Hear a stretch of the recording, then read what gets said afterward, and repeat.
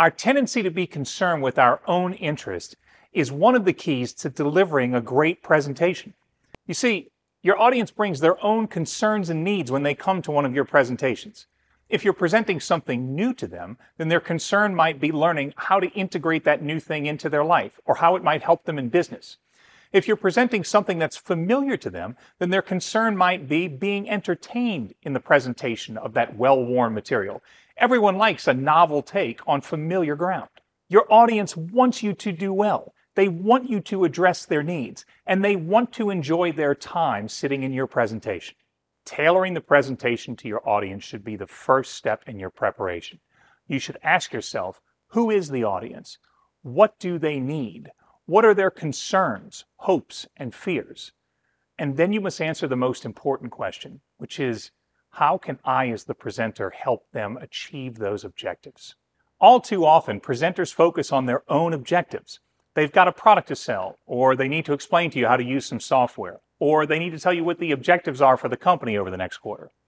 But if you've ever seen an accomplished speaker deliver a presentation, for example, someone delivering a commencement address at a college graduation, or a keynote address at a conference you may have attended.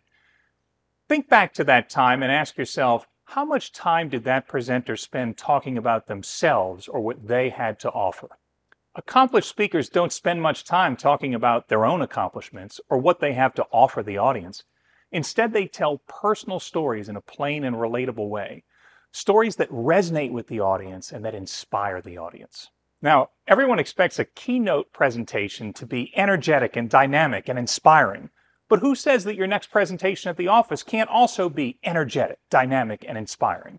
It can be if you consider the audience's interests first. Let me give you an example. Let's say you're presenting a piece of technology to an audience. You could say, our state-of-the-art SSD drive uses a 4.0 PCIe transfer protocol that allows transmission rates up to 400 megabits per second, much faster than our competition.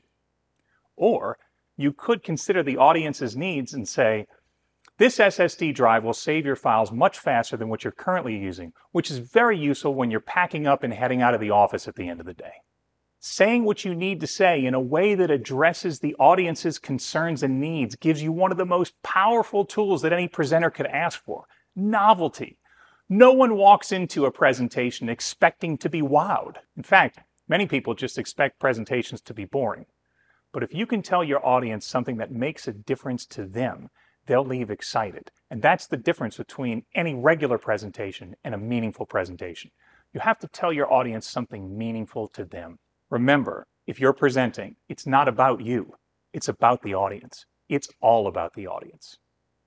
So the next time you're making a list of objectives for the next presentation you have to give, don't make it an objective to be liked.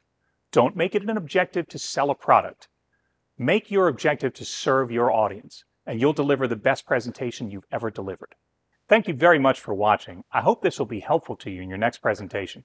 And I really hope you'll tune in next week when I talk about another key tip for delivering great presentations, the value of storytelling. Until then, stay happy, my friends.